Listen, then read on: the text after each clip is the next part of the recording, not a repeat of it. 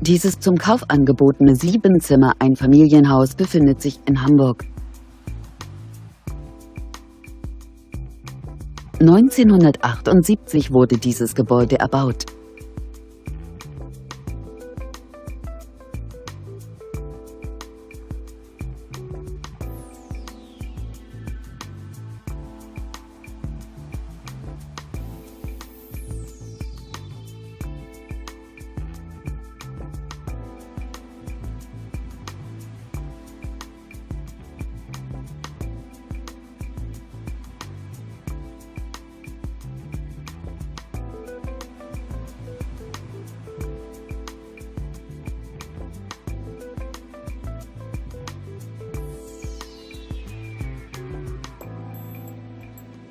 Auf einer Grundstücksfläche von ca. 625 Quadratmetern weist das Objekt eine Wohnfläche von ca. 151 Quadratmetern auf.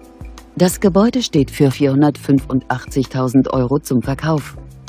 Kontaktieren Sie uns für weitere Informationen.